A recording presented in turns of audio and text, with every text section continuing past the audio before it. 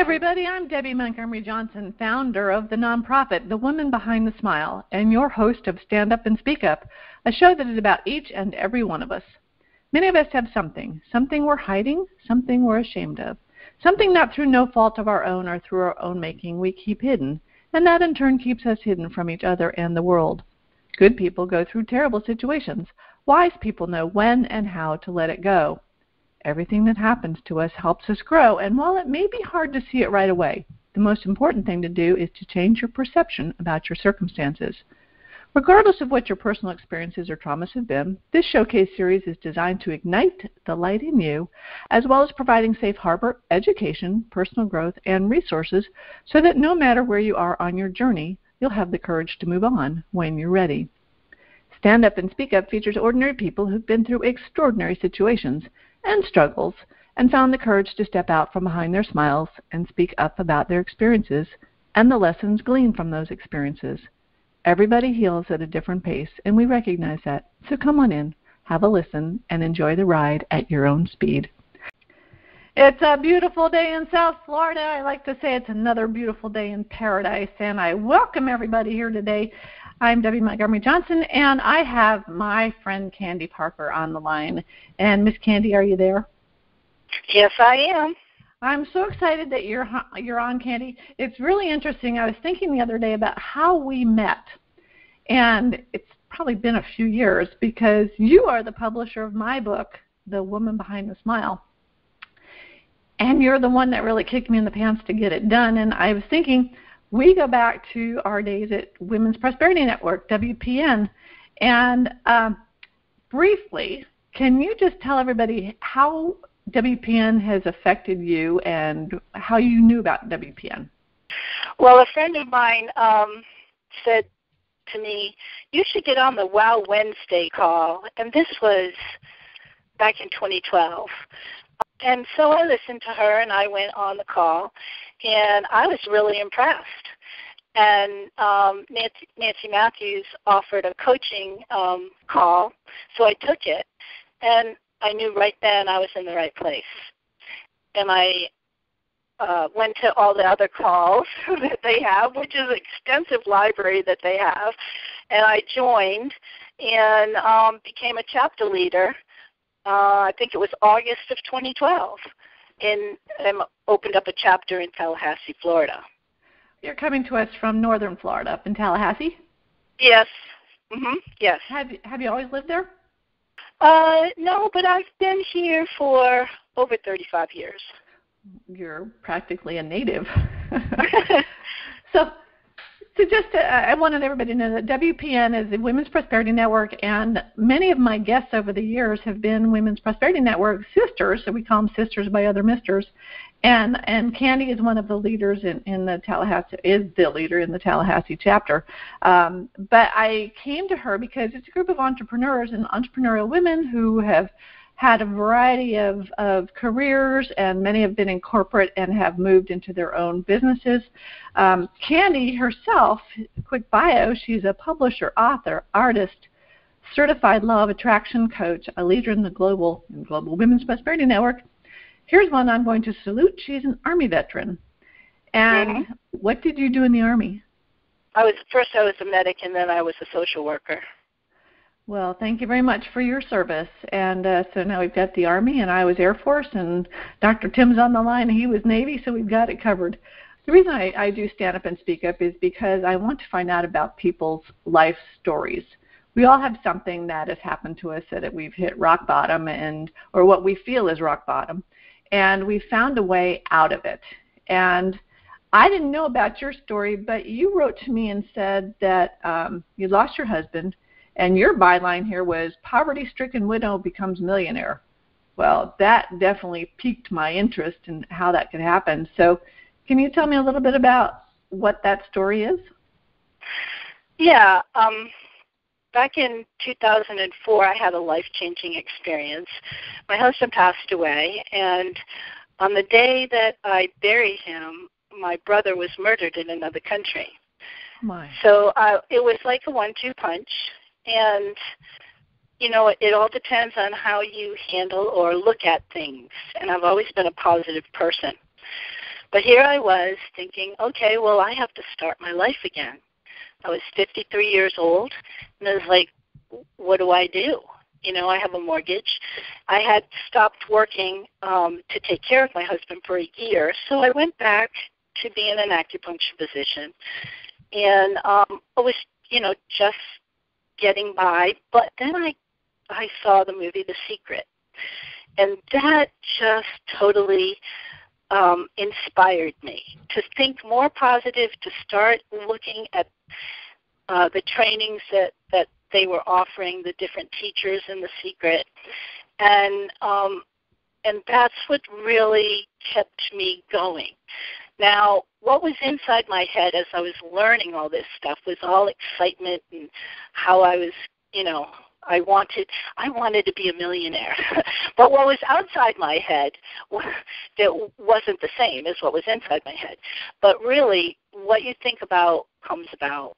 And I didn't know what was going to happen to me, but all I did was put one foot in front of the other and uh, looked at all the positive things that I could look at, held to my vision, put signs around with uh, sayings that inspired me.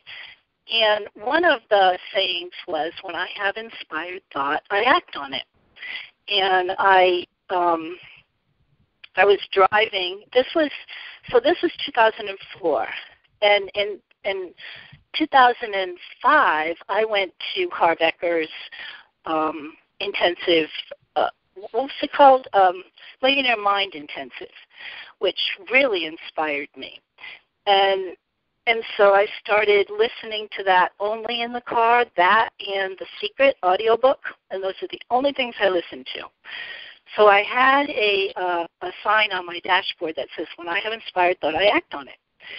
And one day I saw a sign when I was getting gas, and it says, "Would you like to be a millionaire?"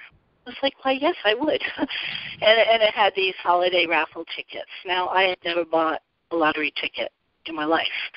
And so um, I I considered it. But those tickets were pretty expensive. They were twenty dollars. But it was the day after Christmas, and I said, "This is my Christmas present to myself. I'm just going to get one."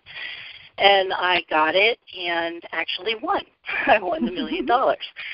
So uh, it, it changed my, another life-changing experience. That was the three years after my husband passed away, and and then I I started to, I said, you know, I want to write about this. And I started to write about it and realized that maybe I could, you know, help somebody else with it. And so um, I got my I got my book published in 2012. I published it, but it was a real struggle.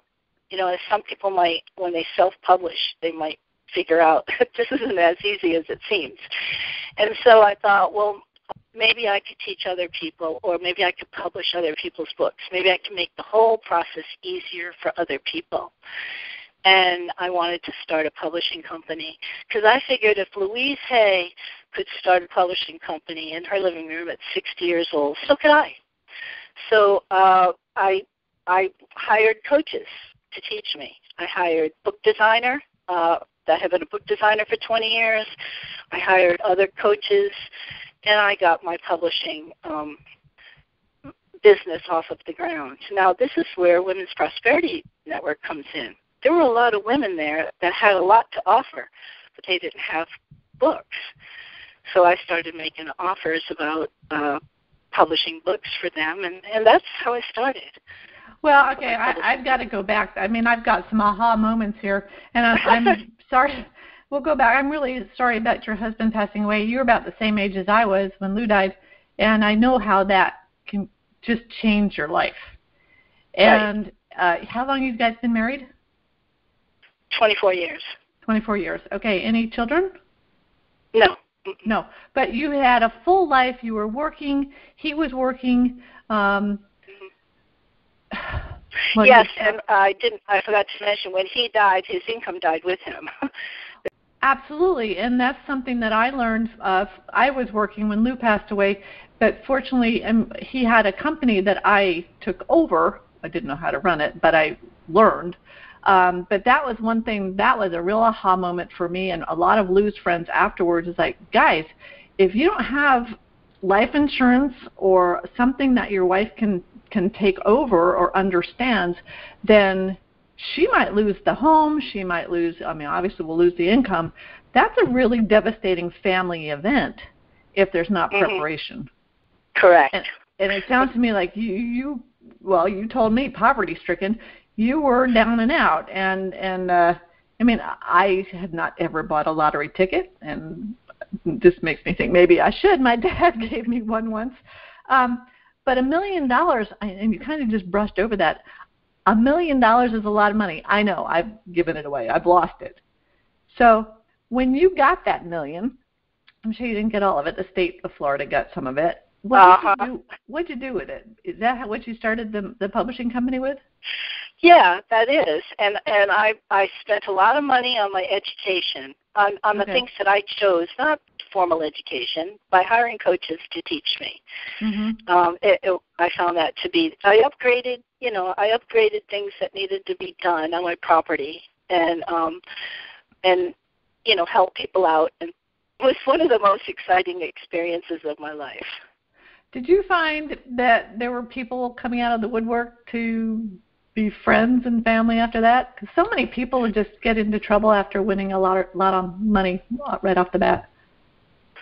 Yeah, and I found that I lost friends too. Oh, really? That Why was, was that, that? was interesting. They couldn't relate to me anymore in their own Mhm. minds. Uh, it was weird. It was very weird. No, it happens, and you move into a different place. And as you, you could have played the victim. You could have said, you know, I've lost my husband, I've lost my income, I've lost everything. So now what? Um, Mhm. But instead, I get the impression that you're like, okay, so now what? Just change the Exactly. now what? so now what? And and so you made the positive out of that pain, uh, which is so important for so many of us, just because Yeah. life happens, right? What is the name of your book, the first book? Uh, shift happens. How I became a million. Um, how I won a million dollars with the law of attraction. That is cool. So shift happens. And we've heard that a lot of folks have used that, but back in the day, shift it sh- how did you shift? I know we've talked about it a little bit, but what are the steps that you take? So we have people that have hit rock bottom and we're trying to give them hope. What is the first step that you took to say I can make it? I wrote my story of, uh, of of how I went from not having anything to winning the money, and then I asked questions and did a workbook in the back of the book. Um, you know how to how to keep yourself in a positive vibration. Um, if you want something. Like people say, "Oh, I want a million dollars." Well, what's under the money? What do you really want? You know, and um, how to the steps that I took for my dream, step by step I moved forward. And I think that anybody can do that if they keep their focus on on positive things. There are particular things that you shouldn't do. It's like stop watching the news. Stop feeding your mind with negative things. Those negative things are always going to be there. And for instance, like uh, somebody says, "Well, aren't you worried about like a hurricane?" Because I'm in Florida, and it's like if I'm going to have a hurricane here, somebody's going to tell me about it. So don't watch the news. Um, look for uh, positive people to be around. Do things that make you laugh because you have a choice. You have a choice to think positive or think negative. And it's up to the person to focus on good things. And when you what you you know, they say that saying what you think about comes about. That really is true. That really is true because you're attracting more of what you're thinking about into your life. So it's all the more reason to be thinking positive. I love that thought, and and that's how you take control of where you go, and Mhm. and you did that, and it and it was fun and exciting, and, and uh, now did you have any naysayers? I know you said you lost a couple of friends. Oh but- yeah, yeah, I did actually. It's really funny. I had friends uh, who laughed at me, you know, because I was uh, taking these classes and I was doing the exercises that were recommended, and um, but they would laugh at me, and I was like, oh, okay, well, and then I'd move on. I wouldn't even mention it again to people who laugh at me. And I'd move on to other people who are encouraging, there you friends go. and family. There you go. Uh, I found that too once. Uh, I think I've mentioned this to you when I when I first told my story, and I and I looked at a lady, and she happened to be in WPN, and she gave me this what I call the stink eye. Mm-hmm. At that moment, I'm like, okay, so she's not the one I need to be talking to. you know, right. need to talk to the lady beside her that's bobbing her head up and down. And uh, so you did that. And why publishing? Were as a child, were you always interested in reading and books, or? No, well, not really. I was more of an artist, and my mom encouraged that from the time I was 13 years old. Uh, I come. Um, I'm the oldest of eight children, and yet she gave me a special spot in the house where I could do my art, and she fostered that. Publishing came about because of what happened to me, and I thought it was a story that I could share that might help somebody else. And so I um, I joined Steve Harrison's Quantum Leap program, which was for authors on getting your uh, books published. And interestingly enough, I went up up to a, an agent. We were supposed to show our stuff to an agent, and I only had 100 pages at the time, right? And he took it and he and he threw it down on the table and went, "This is nothing." I was like, "Okay, well that's your opinion." You know, I just took it, and I didn't let that stop me either. I just fleshed it out and said, "Well, maybe I'll add a workbook to it," and just kept on going and and that that program helped me it connected me with other authors and talking with other people and Now, publishing has changed a lot over the years. Yep. Can yeah. you kind of explain that to the audience because some may know, some some may be thinking, well, you know, to publish a book, you have to go to a big publishing house, and it costs a lot of money, and blah, blah, and I mean, there's a lot involved. Explain how things Yeah. have changed over the years, if you could. yeah it's it's not like that anymore um, if you do get accepted by a traditional publishing house you have to go there with your own following they're not helping you with the following they want to take what you've done and use it and then be the middleman and you don't have to do that anymore um, w- when i publish books for people uh, i don't keep any royalties right? I don't keep the copyright or anything like that. I just provide the service so that they can get out there. Um, anybody can do that now. You know, all the tools are out there now that weren't out there even back in 2010. Um, so it, it's getting easier, but it's also getting crowded. Mm. Okay, I've seen this billion. I don't know how many books there are on Amazon, but there must be a billion books on Amazon. So how how do you stand out?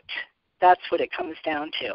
Some people write a book because it it's important to them. Some people write a book, and and I would call that vanity kind of a book. And then there's the legacy book because you're writing it for your family. And then th- there's um, books that, that are helping other people um, there's all kinds of reasons, and there's children's books, which is a big market now. So there's, but but the print on demand um, is changing as well. Right now, it's changing. Uh, for instance, when I went to Ingram Spark, where that's a company, one of the print on demand companies, they just put out something this week that said uh, they won't even print your book for 25 days.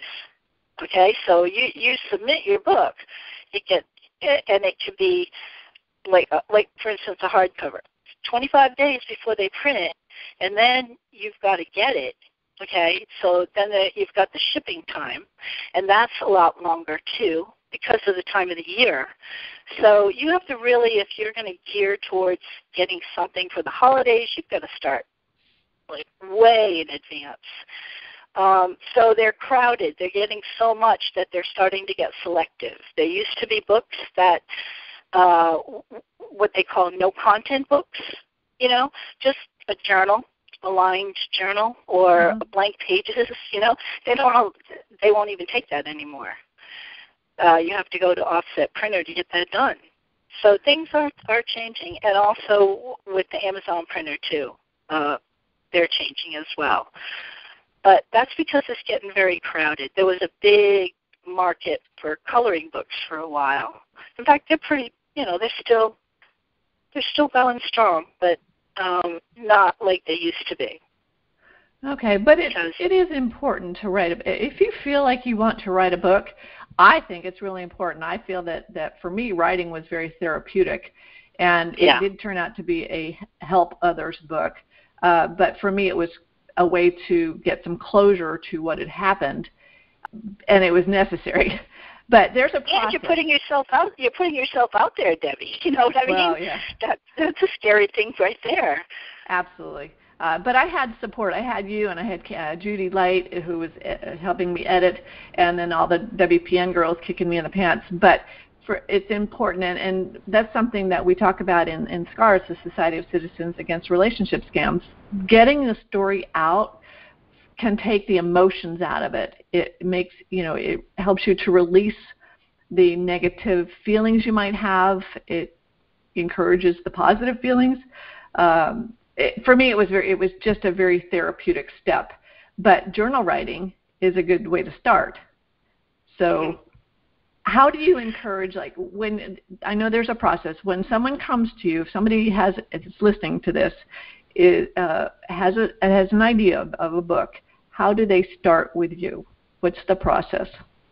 Well, it depends on how much they've gotten done. Now, let's say they don't have anything done; they just have an idea. Well, then, then the first thing to do is make an outline. So you just like, what do you want to, what do you want to talk about?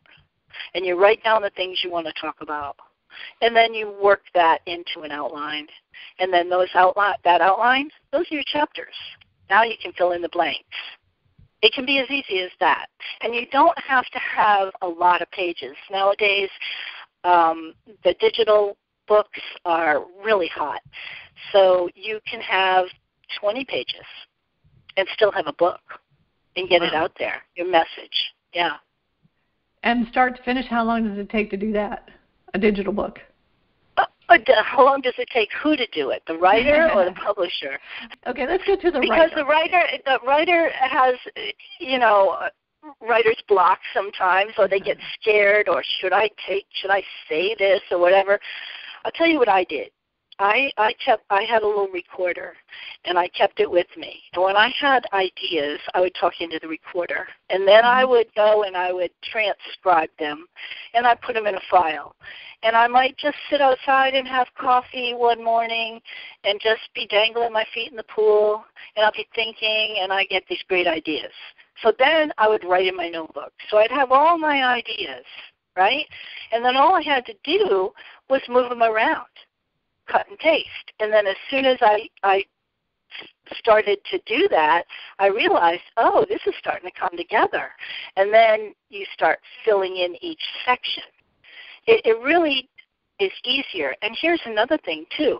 Let's say you're not a good writer. Well, you can speak your book. If you just talk into a recorder and speak uh, what you want to say, then it can be transcribed put on paper, and then you can cut and paste and move it around. It's it's a super easy way. Mhm. Did you find that there was a better time of day that you would write? Morning, evening? No, no. not for me because um, my a lot of my ideas came when I was in the car, so I used the recorder. My best ideas come in the shower, so I have to wait, you know, and, and write them down when I get out. Uh, no, I didn't find that to be true for me. But then again, I'm by myself. I don't have a family to take care of or or or chore. You know, I mean, I've got my own chores to do, animal chores and stuff like that. But no, I, I, um, it's it's so different for everybody. Like right. what the best time would be. And I think that sometimes people get stuck on that, saying, "Well, I don't have, I can't write from seven to eight in the morning. I mean, I used to write at six in the morning because I still have a company, so I would get up early and I would get my, you know, family out, husband out, or whatever, and then I would I would sit down and write. But like you, I found myself recently because I also do write for your magazine, Positive Tribe Monthly, which we're going to talk mm-hmm. about. Um, Thank but you. some of the ideas come. The other day, I was watching a movie in Colorado about wings over wings over the Rockies and they were talking about looking out the window of an airplane and seeing the portal, you know, as kind of a portal to the universe. And thinking, what mm-hmm. a great story. yeah. you know, but it, it is funny too how those ideas for for stories or articles can just come from what you're observing. So it's be observant. Look around you. And yeah. And kind of pause, take a pause. It cracks me up because I I wrote an article about P A W S, pause of my cat. Um, uh-huh. I needed to pause my life to slow down, and my cat came over and started, you know, how they do that kneading thing with their paws on your chest. I'm thinking, mm-hmm. what a great article. The cat slowed me down, and it was fun to write about the cat. But it's the silly things, but it, it just gets your imagination going. And yeah, you got to use your imagination. That's a tool. That's the only tool I really had when I didn't have anything. I had my imagination. Right. But you acted on it. That's right. Like where you went back to say, if you had a thought, you know, if you got inspired, then act on it. And mm-hmm. th- I think that a lot of people get stuck on the acting part, the the moving. Yeah. Because they're scared and they don't know. So that's why we're doing this show. Is how it, it's not hard. It's a process.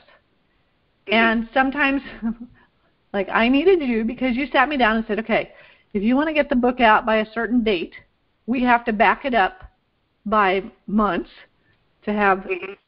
this done and then the next one. And so there are deadlines if you're trying to get a book out at a particular time.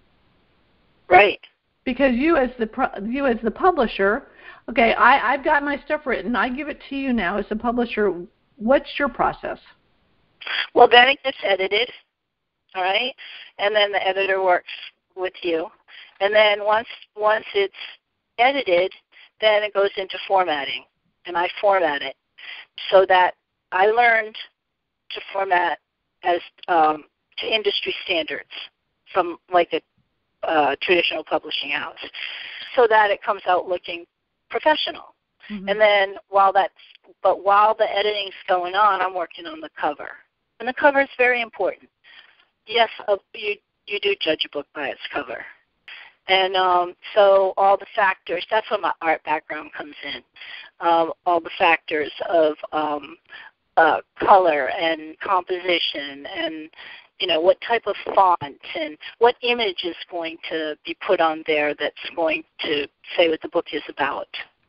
Okay, so that there is a process, and you've got the training, and so that's why a lot of people, like you said, like to self-publish. But self-publishing is that doing it by yourself, or what you're yeah. doing is what would you? Um, I would call myself a hybrid publisher. okay. You know, I'm I'm publishing it for you, but I'm not um, doing like what other what what like the traditional publisher would do which mm-hmm. would keep keep most of your royalties and tell you, hey, you need to go and talk about your book here and here and here and here. You know, uh, I I don't do that. Uh, but there's one other part part of creating a book that is called the proof process. So let's say I get uh, completely finished, you approve it, you like it, then we we get it printed and look at it because that's where you're going to find even more mistakes and whatever. Um, and so the proof process takes at least three weeks. Well, you do an absolute beautiful job. I mean, I was I was so impressed with with my book, and and it, again, it wasn't to make money, and that's what a lot of people are like. You're writing a book, you're making a lot of money. It's not. To, for me, it wasn't for that. It was to be it was to get the story out so that other people were aware of what's going on. And i love how you put it. It's you know you, when you become an author you become an authority in what you're speaking about. Makes you look like the expert that you are. Exactly. You know? And we're all expert in something. We just have to believe in ourselves and believe that we are. And true and get it out there. Um like you and i were talking earlier about my your your golden retrievers and and everybody if you if you love golden retrievers if you love dogs candi did a youtube video and it was called god made a dog. And on the ninth day god made a dog. And it's her golden retrievers. And the first one i looked at was bailey and bristol. And i'm looking at those dogs thinking oh my gosh those are my dad's puppies. My dad wrote his book my 50 golden years. And his golden retrievers are right on the front and it is it was amazing you know how we can be inspired by our animals You have done several now, and can you tell us? Yeah, um, that's at that that's at eyecandyvideos.com. Well, they're fun. Now you have do you have dogs now? Not right now. My last one passed away, oh. and I'm I've got a horse who's like a dog because when it's time for eat to eat, he comes up and uses his hoof and knocks on the deck. Nuzzles him off. Um, I know how you know my dad's golden. It was very difficult but joyful writing that book because every time he wrote about a puppy, he had all these great memories of it. But then the puppy died, and he had to relive that. And it's it was it was I remember the editing process for my father was was very emotional, but now looking at it, it's such a nice tribute to the 50 years. Yeah, my golden ret- my golden retriever inspired me so much. I mean, I wrote a children's book about him. Let's and, hear uh, about that. I love that book. What's the name of it? Positive Pete and the Seven Magic Words. And what are you doing with Positive Pete, or or what did you why, why did you get Positive Pete out? What audience was that? Well, the seven magic words um, are how can I look at this differently? And that came from a course, a course in miracles that I took like 30 years ago. And I said, this is a really good message. How can I make this a message for children? And so that's what that's that's the uh, the start of it. And then I had a lot of photographs of my dog, and so I turned the photographs into illustrations, and and did little um, problems and solutions. Through, what throughout. a great what a great inspiration for that. How can I look at this differently? That's mm-hmm. not just for kids. That's for I know. but let's start the kids off good. Absolutely. So positive Pete.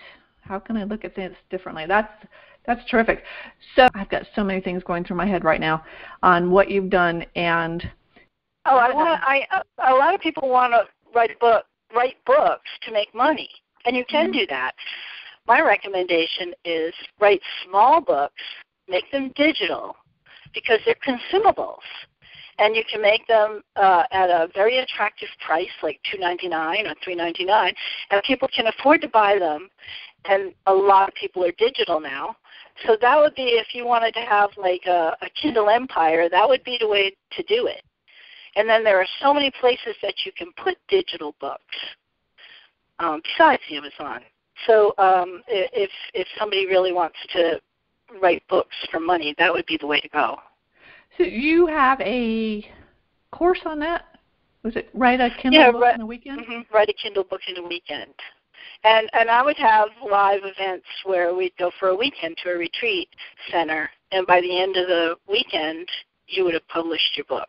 It would be up and running, start did to finish. That, did that get, get put on hold because of the pandemic? Yeah, it did, and so I'm trying to convert that. I'm not trying. I am converting that over to a digital product. Okay, that'd be a great video or mm-hmm. even a webinar or something, a weekend webinar. Mm-hmm. Okay, so that was called Write a Kindle Book in a Weekend.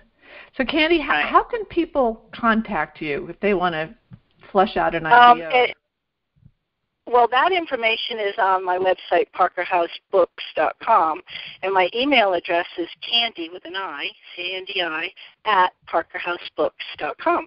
Okay. What's next? I know that you have been working. You have helped what three over 350 people publish books, me included. Right. What is next for you? Well, I took on a big project with Linda Fosdick, um, and we're we've been working on it for a year. We haven't launched it yet, um, but we are again, working with children and working with dogs. They happen to be yellow labs, and they're called the Science Labs. And we're going to be teaching four to seven year old uh, children um, in science. It's going to be a membership where they get a book and they get activities, they get a discovery box. And we're getting really close to actually launching that. It's thesciencelabs.com. We haven't launched, but if you want to take a peek at it, that's where we're at. Yeah, I think I actually, um, when I talked to Linda when she started this, another WPN friend, um, uh-huh. I I had mentioned to her that that would be really good, something for my grandkids, because yeah. I have two in Hawaii, two in Dallas. I don't get to see them often, and I'm always looking for something that they'll get regularly to remind them of grandma. And right. it's always kind of fun to slip in some educational stuff at the same time.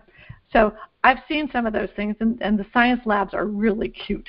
Okay, everybody, coming soon, the science lab with Linda Fosdick and Candi Parker. Um, well, I have Dr. Tim McGinnis on the line. Tim is the founder of the Society of Citizens Against Relationship Scams, and Tim and I have talked a lot about writing and the importance of writing and getting your story out uh, as as a process of recovery.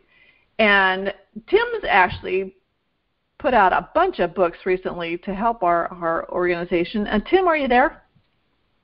I am. Hey, um, I wanted to bring you into this conversation um, because I know that you're very pro- very prolific writer, uh, articles, uh, thousands of articles. So Tim, um, conversation here. You know, you want to.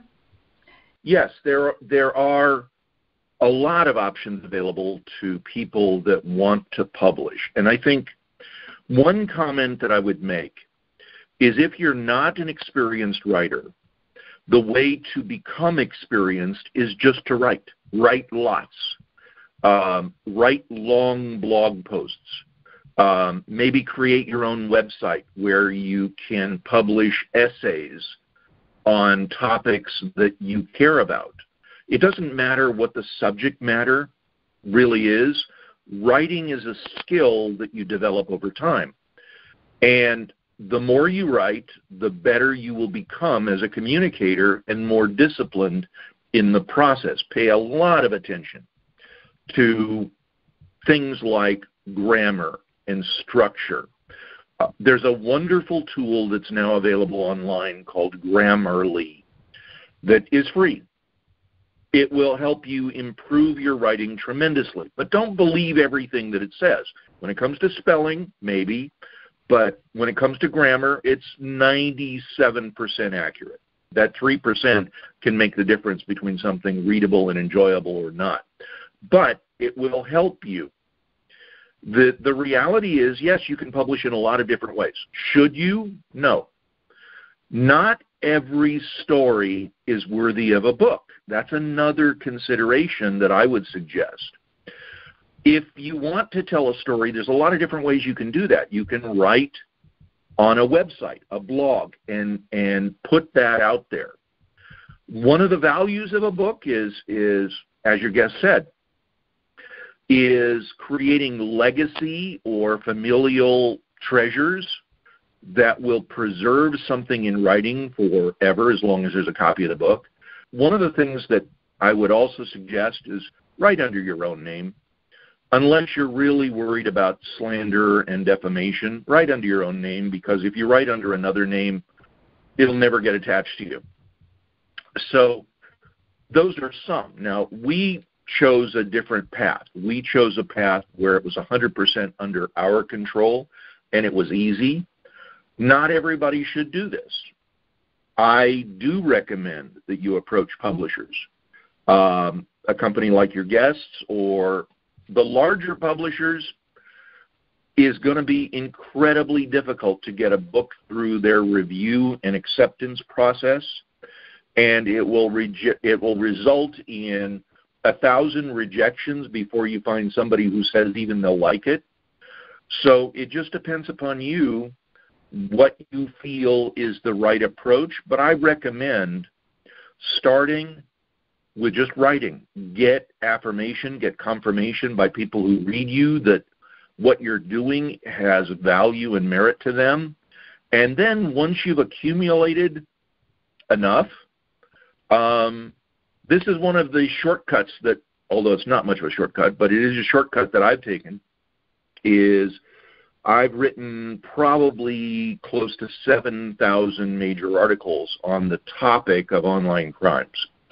And from that, using it as a experimental platform to throw out ideas and see what sticks and polish and refine the approaches over the years, I have a vast reserve of content that very quickly can be adapted into a book.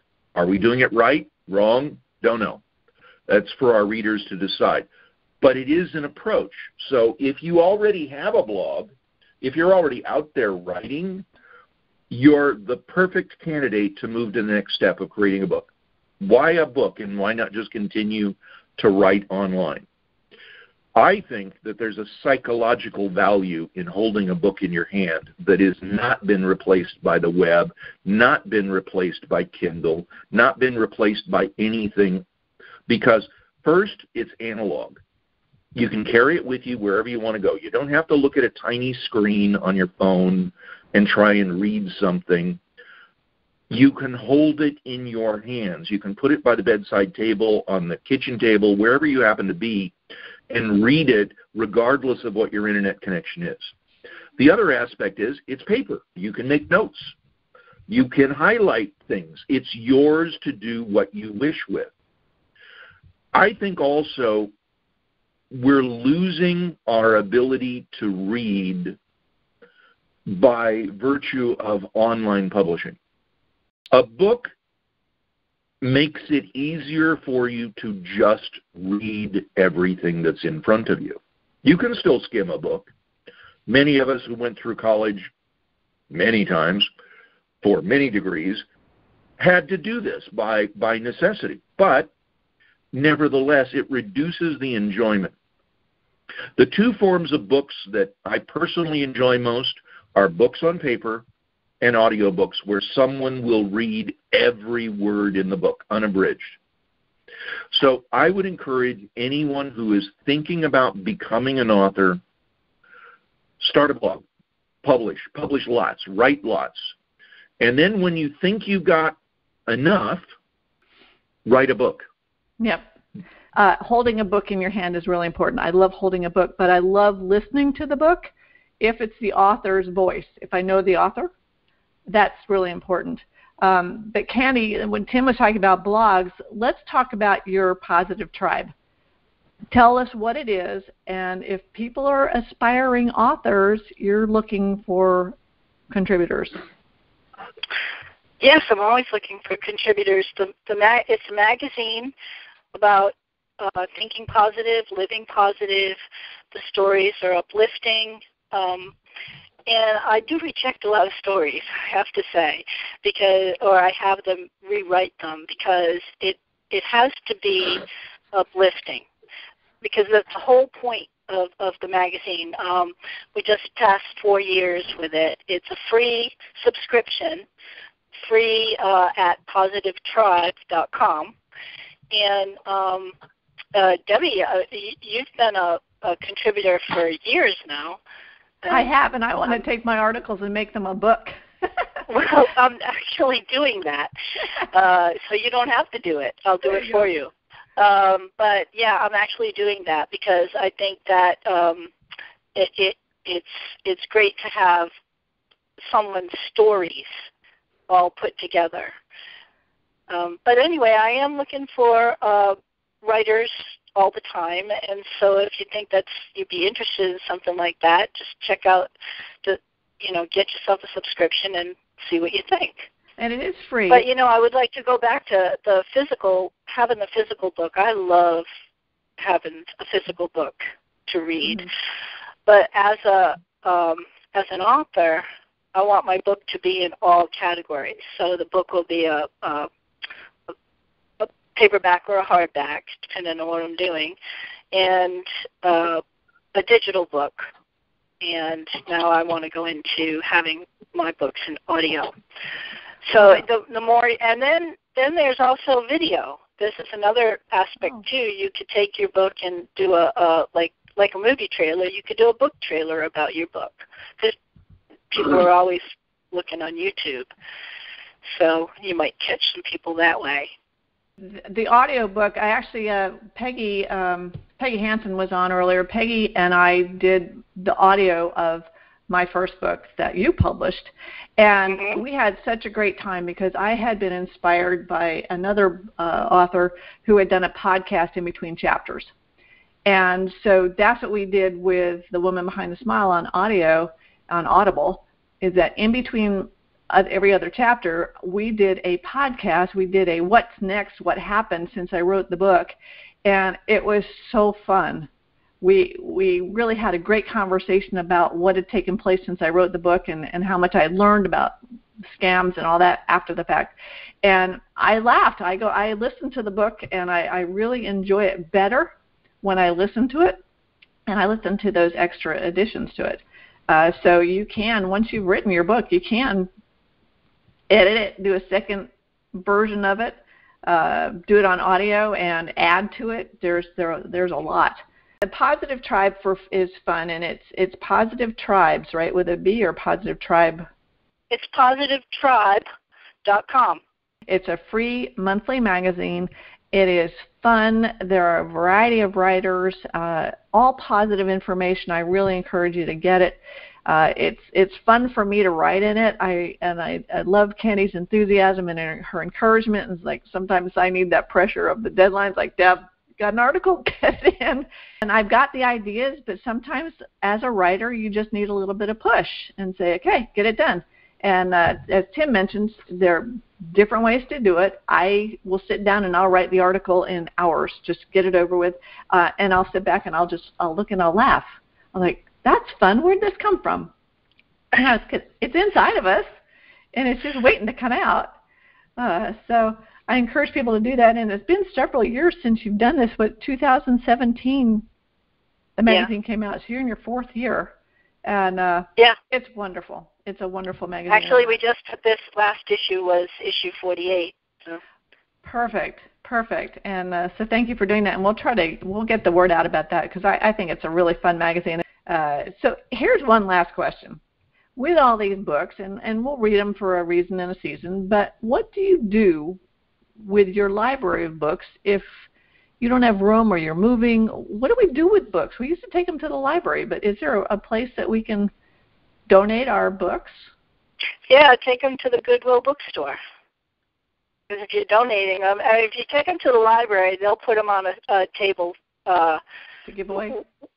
Uh, where they sell, you know, sell books, uh, used books. But okay. um, I take mine to the Goodwill bookstore. I saw on, on a show last night. Um, it was Chicago, uh, Chicago Fire. If anybody watches that, but they put up a little looked like a firehouse outside of the firehouse, and in it they had a library. It was like a giveaway library, and I'm thinking, what a great idea! We need to have corner corner boxes where we share our books. Um, well, they do that here where I live. We have these little boxes everywhere where you just go and you take a book or you leave a book. Really?